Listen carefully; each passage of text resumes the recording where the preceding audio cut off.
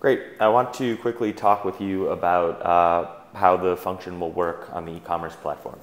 So you'll see here, if we look in the inventory, we have our dashboard. We'll see all our incoming products. We'll see our internal transfers. We'll see products that have to be printed. And we'll see our delivery orders. You'll see in inventory control products, we look at this t-shirt for instance. In the inventory, there's uh, a route now here called print. So the print route is going to be something that is controlled on the front end by the customer of yours. So the customer will just define whether or not they want to have a custom print. If they check the box, then it will turn the route on in the back end. If they don't, then it will just process this as a delivery order.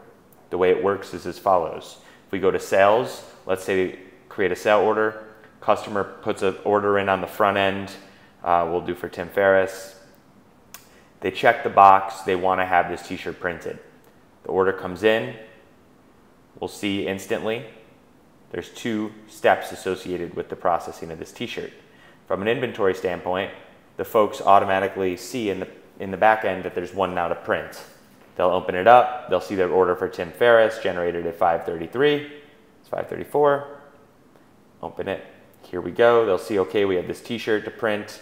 We can capture the, uh, the details of this t-shirt via like a PDF file or, um, or a Excel sheet. It depends on how you want to work that. But when they, what happens is they validate this. Once it's done being printed, then the folks in the uh, delivery department, they'll see their dashboard, open it, they'll see the order for Tim Ferriss is available, set order 12, which is what we just did down here.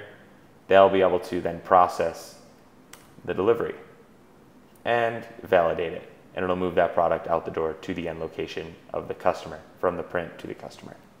So uh, that's how the functionality will work. If you have multiple products, um, then it will only send the t-shirt through. It'll create two uh, delivery receipts and then it will eventually combine those two receipts in once it hits the delivery tab and assuming all items are available, it will move them out. If only one item is available, such as the t-shirt that was printed and the other item is not available, then you'll be able to create a back order and uh, create another inventory receipt, or excuse me, an inventory delivery for the item which is on back order and process the product which is currently available. Uh, and you'll be able to send that out.